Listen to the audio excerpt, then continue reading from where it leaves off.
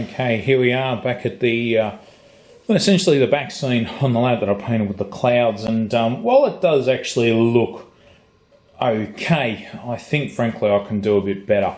Um, I'm a complete fusspot and my own harshest critic. So, um, and obviously it takes a bit of time to paint this. So hopefully if I snap my fingers, it'll uh, do it for me. So let's see how it goes. Nah. I'll wave my hand and see if it changes.